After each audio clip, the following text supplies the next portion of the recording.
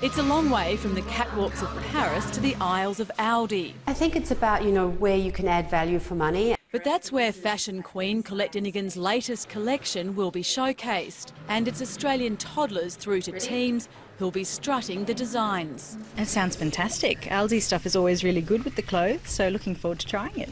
Collette's designer dresses have sold for as much as $20,000 in the past.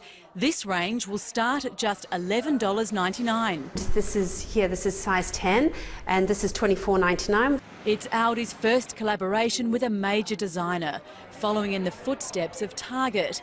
It's partnered previously with Stella McCartney, Australian designer Dion Lee and Italian couture house Missoni. Consumers have been less willing to spend money on clothing and shoes recently, with sales falling 1.4% in August. But Aldi hopes this collection of 74 designs will have shoppers in a buying frenzy. They know what they're doing. It's a very smart move for Aldi. Good disruptor move. For Collette Dinnigan, smart move as well positions her to a broadening market. It's a very smart thing to do to work with designers because after all they know how to cut the cloth the best. The range hits stores next Wednesday. Adine Cassidy, 7 News. Hi, I'm Brian Walker, CEO and founder of Retail Doctor Group. To succeed in today's fast-paced change of retail, talk with us or visit retaildoctor.com.au.